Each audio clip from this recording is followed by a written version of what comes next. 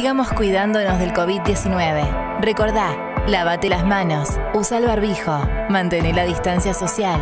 Ante cualquier duda llama al 0800 355 6549. Santa Fe Provincia.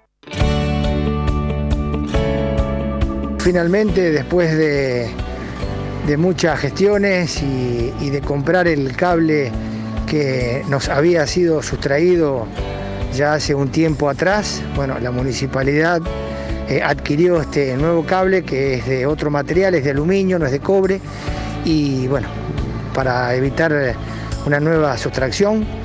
eh, así que muy pronto vamos a tener en marcha, están trabajando en este momento los empleados municipales del área mantenimiento de luminarias para Dios mediante este fin de semana tener eh, iluminado el acceso, como nosotros conocemos, acceso de la Virgencita en su totalidad.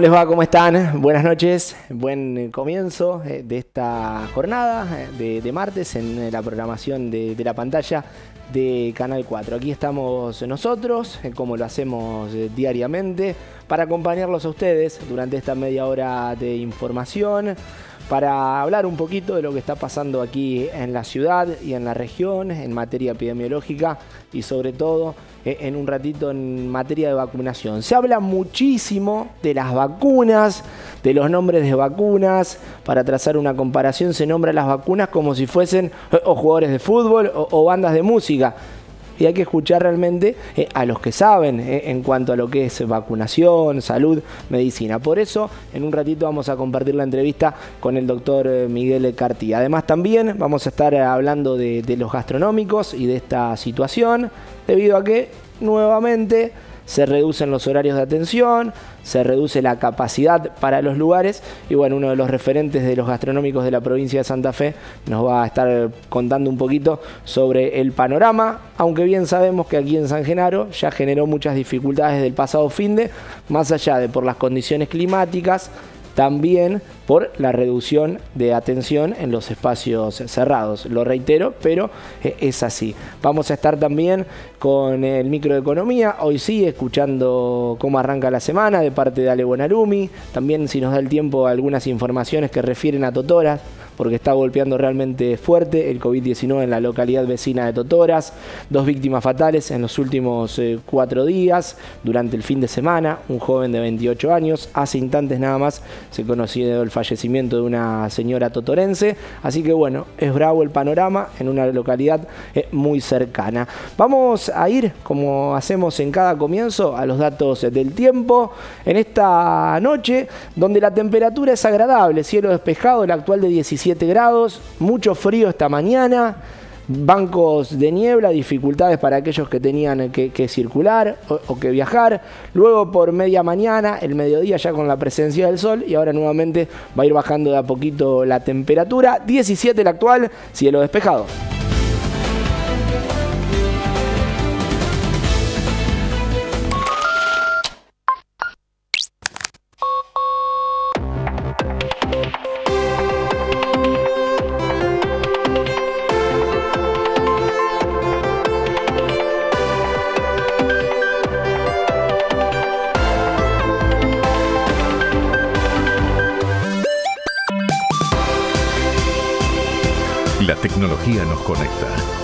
Solidaridad nos une. Banco Credicop Cooperativo. La banca solidaria. Agricultores Federados Argentinos SCL brinda los mejores productos y servicios, sumando valor a la producción. Descubra los beneficios de la cooperativa en el centro cooperativo primario más cercano. También vamos a hablar en un ratito en esta emisión de Joaquín Poli, Joaco, nuestro campeón sangenarino, campeón argentino, que en Italia para su nueva temporada, que está dejando atrás una lesión en su mano y que el fin de semana eh, tuvo comienzo su competencia en el campeonato italiano, donde participan los grandes campeones europeos. Eh, Joaco comenzando con dolores, pero bueno, en un ratito vamos a estar eh, hablando de, de, él. Vamos a ir ahora respecto al tema de pura actualidad, que como les decía en la apertura, se habla y mucho, que refiere, entre otras cosas, a la vacunación. Vamos a escuchar lo que nos cuenta el doctor Miguel Cartía. Respecto a la vacunación, yo insto a que la gente se vacune. Hay mucha gente preguntando eh, y, siendo media reticente a la vacunación. Eh, lamentablemente los medios de comunicación nacionales se encargaron de meter la grieta en el medio de, esta situación tan espantosa que estamos viviendo. Y entonces le pusimos carteles a la vacuna, ¿no? Claro. Eh, escuchar a una referente como eh, la señora Carrió decir que ella no se vacunaría con la vacuna rusa porque no es un país democrático, me parece por lo menos una falta de respeto, eh, siendo que el Instituto Gamaleya tiene al menos cinco premios Nobel. Entonces me parece que, que, eh, una persona que es este líder de opinión y marcadora de tendencia, decir eso en un medio como Todo Noticias, delante de miles de miles de personas, creo que no ayuda en nada a la situación que está viviendo hoy el país, con casi 20.000 casos diarios de, de, positivos y con una, una perspectiva un tanto pesimista. Claro. Eh, por tanto, la vacuna no son de River, de Boca, de Central o de Newells. Las vacunas son todas, algunas mejores, otras no tan mejores, pero todas las vacunas ayudan. Y cabe, cabe la aclaración que la vacuna eh, digamos, produce una inmunización que hace que el organismo reaccione mejor ante la invasión del eh, coronavirus. La vacuna rusa, por ejemplo, eh, tiene una efectividad superior al 90% y si te da el COVID durante, eh, estando inmunizado con, con cualquiera de las vacunas, el riesgo de muerte que tenés es inferior al 1%. Entonces, ¿qué quiero decir con esto? Que si te vacunás, probablemente no te enfermes. Y si te enfermas, seguramente no te mueras y pases una infección lo más este, eh, leve posible. Quiero decir que eh, a través de, los medios de comunicación, eh, que, la verdad que tanto en la ciudad como en la región le está dando mucha importancia a la a la cuestión de, salud, eh, hay que instar a que la gente se vacune. Hay algunas eh, personas que tienen miedo y miedo producto de información eh, errónea por parte de la prensa. Te digo que debemos tener los médicos cinco o seis llamadas telefónicas diarias con pacientes con dudas para, para vacunarse. La verdad que si uno le pudiera preguntar a las 50 mil pico de víctimas fatales que hubo eh, por COVID, si pudieran vacunarse, créeme que todos dirían que sí, porque es la forma que hoy tenemos de protegernos contra este flagelo.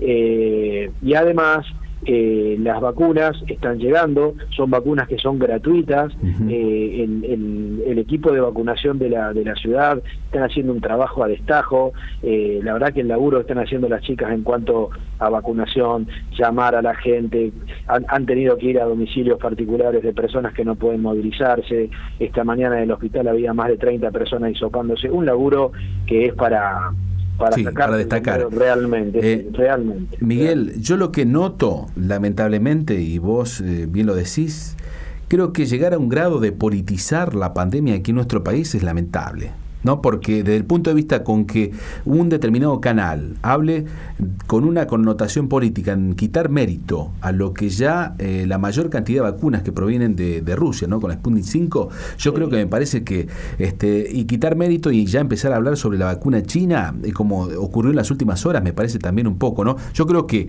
los medios sin conocer y basándose lamentablemente en personas, eh, profesionales de la salud también, que a lo mejor siguen algún tipo de connotación por no estar justamente a favor del gobierno o por estar de un lado o del otro, a veces este, suman ¿no? a que ello no sea tan positivo. Pero mira, Andrés, eh, estamos en una situación que realmente es muy complicada, muy complicada. Eh, anoche escuchaba a un referente de, la, de, los, de los clínicas y sanatorios a nivel nacional, a Claudio Brocopit, diciendo que estaban sobresaturados la provincia de Buenos Aires. La provincia de Buenos Aires está teniendo un problema sanitario tremendo, tremendo. Estamos frente a una situación sanitaria que me parece que todos nuestros líderes, políticos, y estoy hablando desde el presidente hasta el último concejal de cualquiera de las eh, localidades, desde el presidente de la nación hasta el último de los consejeros comunales, es el momento de ponerse todos la misma camiseta y salir adelante. Y dejemos para más adelante, cuando esto pase, si Dios quiere, las peleas intestinas que tenemos en nuestra política. No podemos, no podemos permitir como ciudadanos, ciudadanos que haya este, una grieta dentro de la situación sanitaria. Realmente, para quienes estamos trabajando desde hace nueve meses eh, sin eh, sin descanso, eh, eh, trabajando a destajo y arriesgando nuestra vida, nuestra salud y la de nuestra familia, eso creo que es una falta total de consideración. Para los pacientes, los familiares de los pacientes fallecidos o los pacientes que han quedado con secuelas, que no son pocos, tener que ver cómo se pelean, cómo quién, quién dice una cosa, quién dice la otra, quién, quién ningunea una vacuna, quién cree, bueno, la verdad es que es da vergüenza vergüenza ajena, realmente la vergüenza ajena. Mira, si logramos ser todos hinchas de la selección argentina ante un partido de una final, de un mundial, de una Copa América y todo esto, al menos seamos un poquito más vivos y pensemos que estamos jugando una final contra Alemania, ¿me entendés? Contra una potencia, porque la verdad que el virus nos está pegando una paliza histórica. Eh, y, eso genera que eh, además la gente tome eh, eh, una, una conducta que no siempre es la correcta. O sea, escuchar hablar eh, a periodistas. Yo anoche escuché a un periodista que te juro que me daban ganas de llamar por teléfono al canal para decirle, estás equivocado, no informes así. No informes así. Entonces, eh, hablar por hablar o hablar con intereses mezquinos de otro lado, en este momento me parece que es por lo menos una irresponsabilidad. Ahora, Miguel, yo creo que me he dado cuenta de una cosa gente, no solamente del medio, de la opinión pública, profesionales, pero funcionarios del año pasado que pensaban con que decía que la vacuna nunca iba a llegar y que no iba a surtir efecto, es como que después, una vez que se empezaron a aplicar y a vacunar, entendieron el mensaje, la idea y un poco más empezaron a destacar los efectos y, y, todo lo que tiene que ver con el funcionamiento ¿no? de la vacunación, la vacuna rusa, o sea, es algo que se le había metido a ellos como que después tuvieron que aceptar, es una cosa que poco pega, ¿no?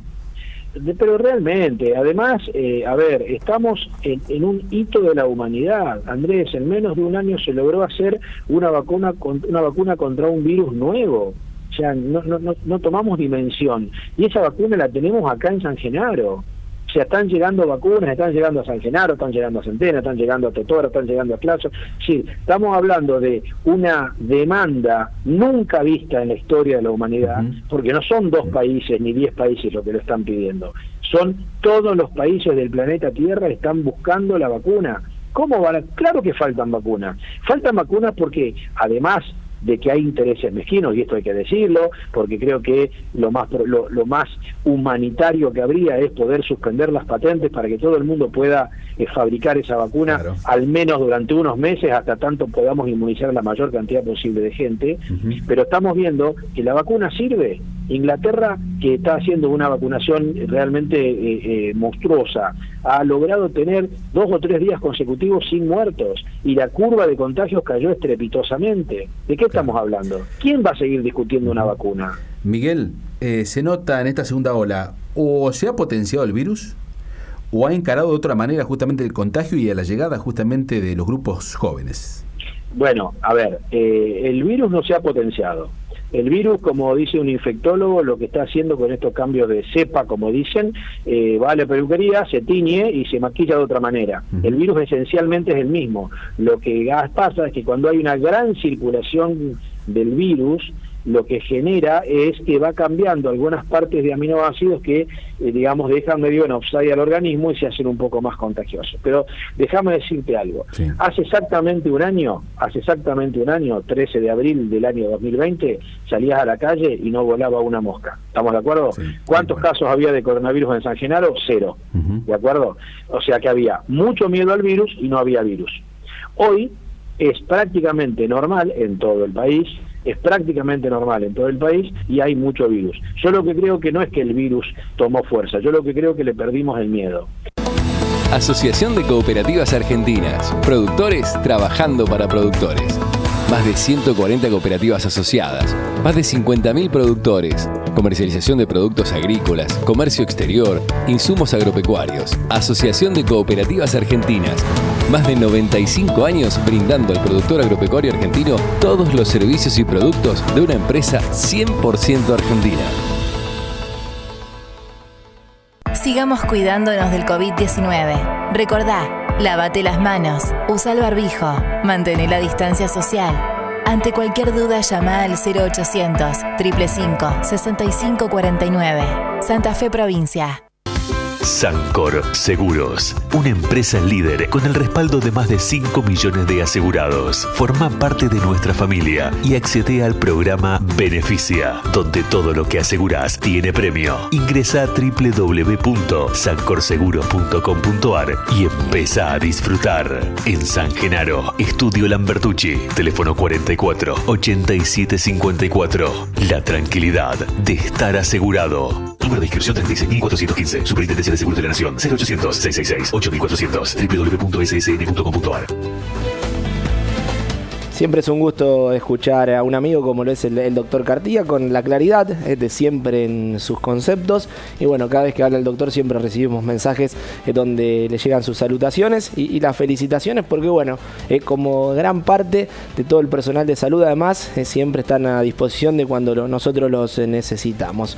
Un beso grande para Lore, para Luis, que están como siempre siguiendo el noticiero. el abrazo muy, muy especial para los dos. Vamos también también, bueno, les contaba en el inicio de cómo está golpeando el COVID a la región, porque hace minutos nada más falleció en Totoras eh, una señora, una nueva víctima fatal, 17 víctimas fatales eh, debido a COVID-19 en la ciudad de, Totoras.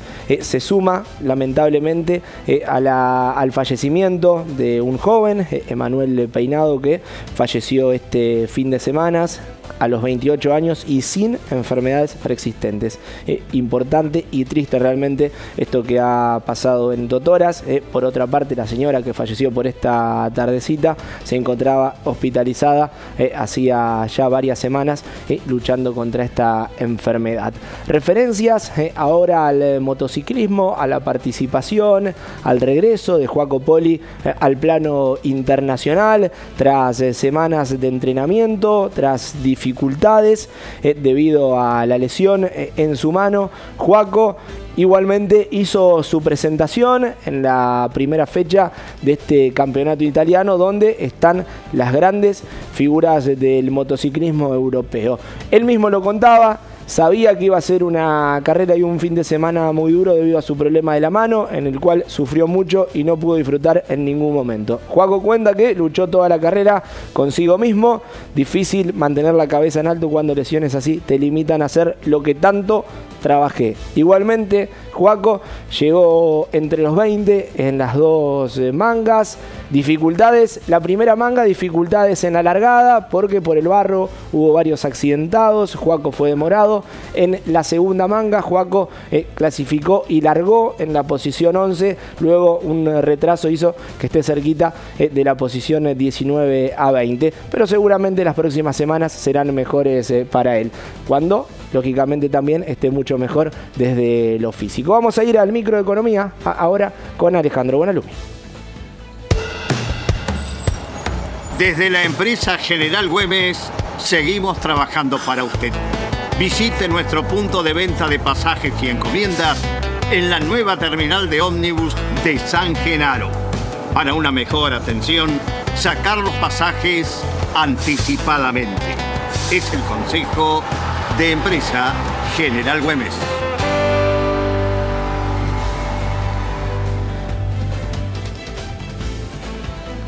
Ya saludamos eh, Alejandro, Ale, ¿cómo estás? Buenas noches. Hola, ¿cómo les va? Muy buenas noches para todos, un gusto estar nuevamente en contacto con ustedes. Bueno, les quiero plantear dos o tres puntos importantes sobre la economía del día de hoy. Más allá de hablar de mercados, más allá de hablar de algún tema que linda lo político y lo económico, voy a ir concretamente a, a un par de temas que son interesantes.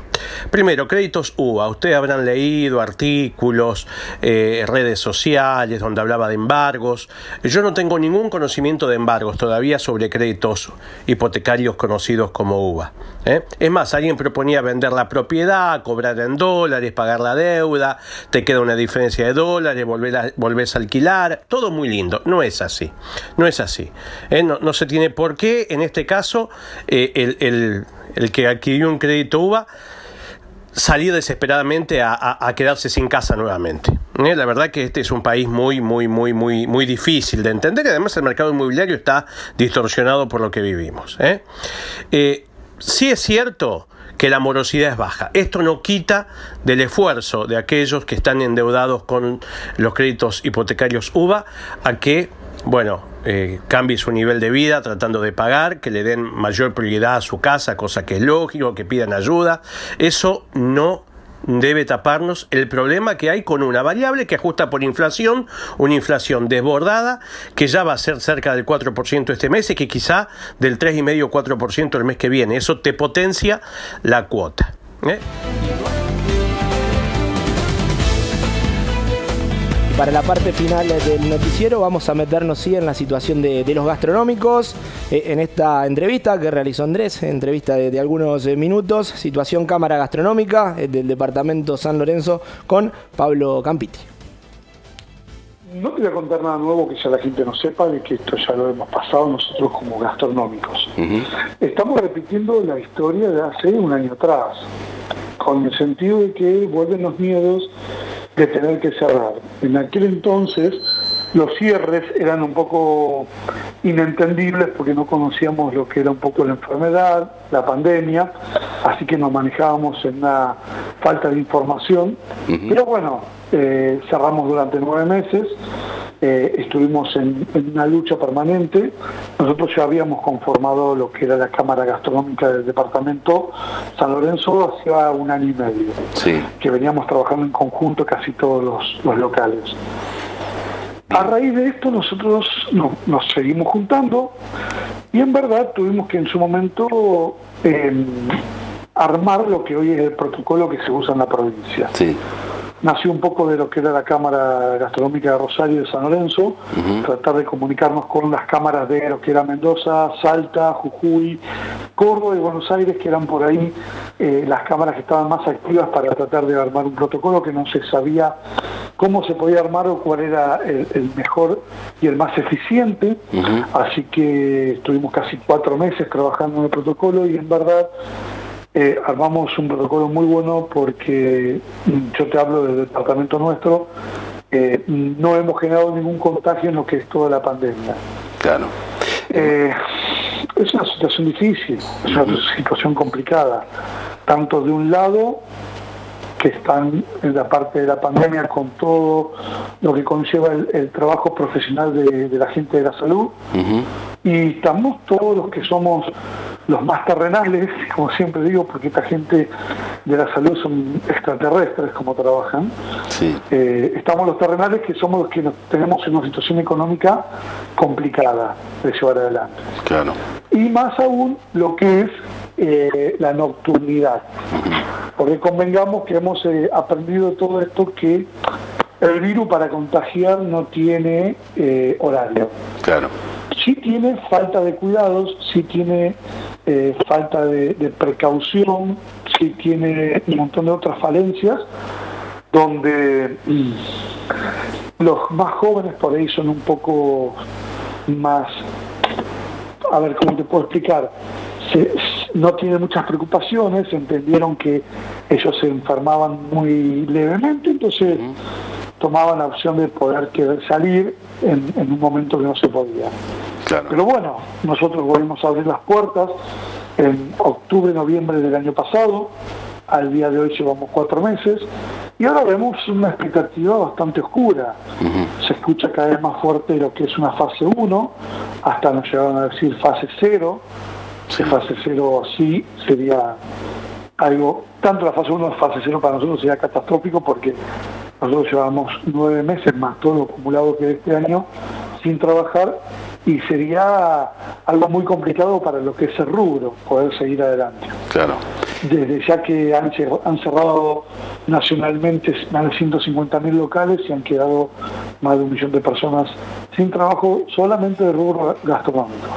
Pablo, eh, un poco complicado, ¿no? Porque ustedes, es cierto, cuando arrancó eh, la pandemia, este, esa primera etapa cerrada, luego se dio lugar a lo que es el servicio por delivery, luego el take away, luego ajustarse a los nuevos horarios establecidos para que se dejara trabajar a la gente del sector, posteriormente una posibilidad, ¿no? De incrementar los horarios, ¿eh? de acuerdo dentro de lo que es el distanciamiento, pero ya nuevamente la, la cuestión ya tomando otro color, ¿no? Y es lo que está pasando justamente con estas medidas establecidas para, por lo menos, tienen un tope hasta el día 30 de abril.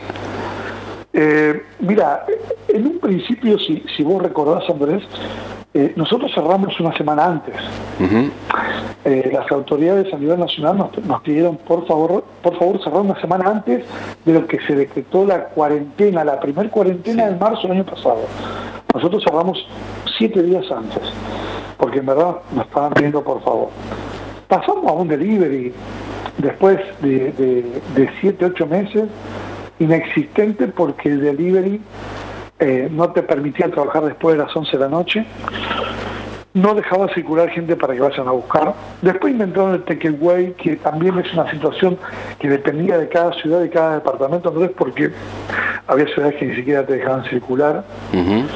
Y de ahí pasamos a, una apertura normalizada que ellos llamaron, que, conseguimos nosotros, te voy a repetir por medio del armado del protocolo, con un 50% del salón y con un horario reducido a las, 12 de la noche. Sí. Que con eso nosotros peleamos mucho, más que nada con el horario, porque no podíamos cubrir lo que eran los dos turnos para poder hacer un recambio en la noche, para comer.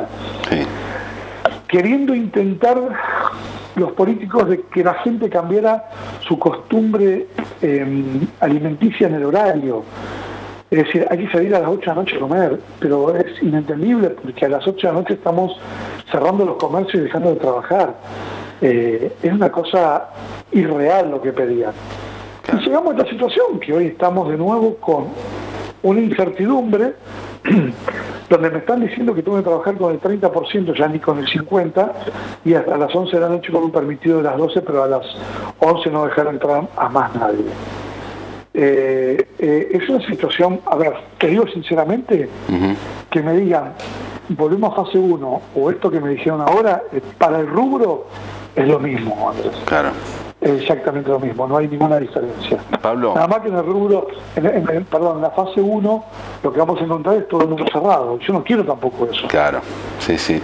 Es un sector que realmente ha sido más que castigado, ¿no? En lo que es esta, esta pandemia, porque eh, ya te digo, este, el tratar de, regenerar, de volver a, normalizar la situación, tuvieron que pasar muchos meses como para decir, bueno, comenzar a abrir justamente, incluso te cuento acá un poquito muy rápidamente lo que ha pasado en, San Genaro, este, con la posibilidad de que llegó hasta un punto hasta que las 3 de las mañanas, más o menos, poder este, tener abierto y, ya después se tuvo que bajar nuevamente y reacondicionar con respecto a lo que tiene que ver fines de semana y más aún los días hábiles. Eh, pero más allá de todo eso, rescatar el compromiso es cierto, seguramente allí, como bien lo dijiste, ¿no? Ese protocolo, protocolo que a lo mejor no en todas las jurisdicciones por allí se pueden cumplir. Uno tiene que, creer realmente como, este, vos lo has comentado, ¿no? De llevar adelante como tiene que ser, con medidas de distanciamiento, con el aforo necesario, con el barbijo, con el alcohol en gel en cada mesa y seguramente ustedes lo tuvieron muy en cuenta. Pero a veces eso no es suficiente en la medida que no haya tiempo para poder trabajar este, de manera diaria como corresponde. No, a ver, yo la situación de San Gerardo la conozco porque tengo familia eh, y, me han comentado y, hay familia que tienen colegas que me han mandado a preguntar en algunas situaciones cómo manejábamos las cosas. A ver, sí, es difícil. Eh, la situación de, una pandemia no la no nacimos con esto sabiéndolo, nunca lo vivimos, nunca sabemos tampoco verdaderamente cuál es eh, el dato fehaciente que uno tiene que tener eh, o, las, las, precauciones, porque uno siempre tiene precauciones y siempre hay un, contagio, Andrés, siempre hay alguien cerca que, Claro, entonces vos me más puro. 21 a 30, despejado parcialmente nublado, mínima de 13, máxima de 26 para mañana. Jueves parcialmente nublado, mínima de 16, máxima de 26. Cereales, maíz 18.940, la soja 29.560, el sorgo 20.785. Está Mario aquí, se viene a tener una pasión. Javi debe estar gritando los goles de ayer todavía, como hacía bastante. Eh, ahí se viene Javi también, seguro para sumarse al team rojo y blanco. Nosotros nos encontramos mañana. Buenas noches. Thank you.